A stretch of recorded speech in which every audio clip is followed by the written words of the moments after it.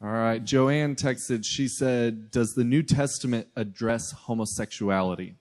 Yes, several places. Uh, probably the most um, direct place would be Romans chapter 1, where Paul talks about they exchanged the truth of God for a lie. They worshiped the creation rather than the creator. And men exchanged the normal function for indecent acts with other men, and women the same thing.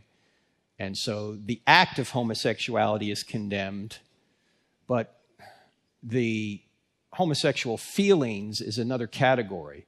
We all have attractions we ought not act on. So there's a difference between having the attractions and engaging in the actions. Although I will say this do you know that Jesus ratcheted up the standards of the Old Testament when he said, even if you think about lustful thoughts, you're guilty? Thanks, Jesus. I can't meet that standard. Yeah, that's the point. Only He can be perfect as your Heavenly Father is perfect. So, yes, all activity, sexual activity outside of the union of a man and a woman in both the Old and the New Testaments is considered immoral. It's not just homosexuality, it was adultery, fornication, bestiality, bestiality, rape, any of these activities outside of the man woman relationship were considered immoral. And a lot of people will say, well, Jesus never spoke about homosexuality. Well, actually, he did.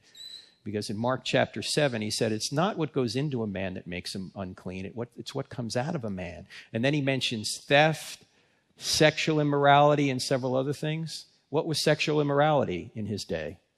Sexual immorality was what I just said any kind of behavior outside of the union of a man and a woman that was sexual, outside of the union, the, the marriage of a man and a woman. That included homosexuality, rape, bestiality, everything.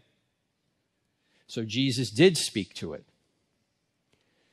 He didn't use the word homosexuality, but he talked about the category. Our friends at the Babylon Bee, you ever, you guys ever look at the Babylon Bee? If you don't know the Babylon Bee, you got to go to the Babylon Bee because every day you're going to get a laugh from them.